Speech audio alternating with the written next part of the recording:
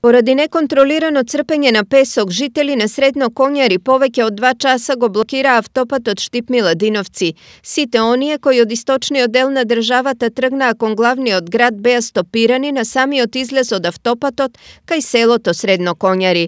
Најмалку 50 на возила од Штип, Кочани, Делчево и останатите општини од истокот и југоистокот на државата беа приморани да чекаат да заврши блокадата која траеше до 15 часот и 30 минути. Значи чекам веќе еден сат да знаеше дека имам блокади ќе одеше преку Велес. Има преку 60-70 коли и камиони кои се заглавени на автопатот. Причина за блокадата е револтот на жителите од Старо Конјаре кои бараат од надлежните итно да се стопира црпењето на песокот и чакалот од коритото на Пчиња, затоа што стравуваат од појава на поплави.